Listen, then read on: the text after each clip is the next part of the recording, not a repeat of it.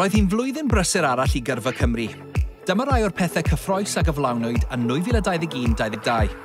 Lawnsiwyd ein gweledigaeth strategol newydd, dyfodol disglair, i ddarparu gwasanaeth cymorth gyrfaoedd di-diedd sy'n arwain y sector i bawb yng Nghymru. Darparwyd cymorth un i un i dros 27,000 o bobl ifanc, mwy na 40,000 o gyfweliadau unigol, Darparwyd dros 2,700 o sesiynau rhyngweithio un i un a roddodd cymorth gyrfaoedd wedi ei dilwra i bobl ifanc ag anghenion dysgu ychwanegol. Hwyluswyd 896 o sesiynau rhyngweithio gan gyflogwyr, gan gynnwys cyflwyniadau wyneb yn wyneb, ymwyliadau a safleoedd a ffug gyfweliadau, i helpu pobl ifanc i ddysgu mwy am fyd gwaith Dywedodd 87% o fwy na 2,400 o bobl ifanc a fynychodd y digwyddiadau hyn ei bod yn fwy ymwybodol o'i cyfleoedd. Edrychwyd ar didalennau gwefan Gyrfa Cymru fwy na 2.3 miliwn o weithiau a defnyddiodd dros 7,500 o gwsmeriad ein cyfleistr sgwrsio ar-lein. Defnyddiodd dros 47,000 o gwsmeriad ein hoffer asesu gyrfa i gynhyrchu awgrymiadau gyrfa personol.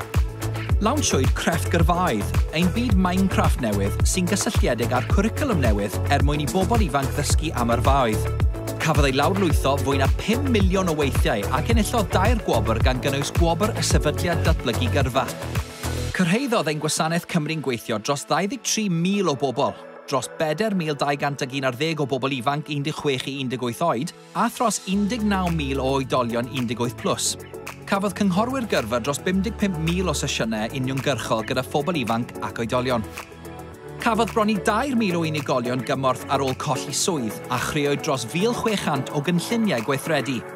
Fe wnaethom sefydlu swyddogaeth gwybodaeth marchnad lafur newydd er mwyn gwella ein hymchwil, cefnogi'r ddarpariaeth cyfarwyddyd gyrfaoedd a datblygu adnoddau un cwsmeriad. Yn fewnol, rydym wedi canolbwyntio ar wella llesiant ein gweithlu, gan ennill y wobr cymorth gorau i weithwyr o bell yng ngwobrau llesiant Pryden Fawr 2021. Llwyddwyd hefyd i ennill statws amgylcheddol lefel 4 y ddrau gwerth. I o bod mwy, chwiliwch adroddiad blynyddol Gyrfa Cymru.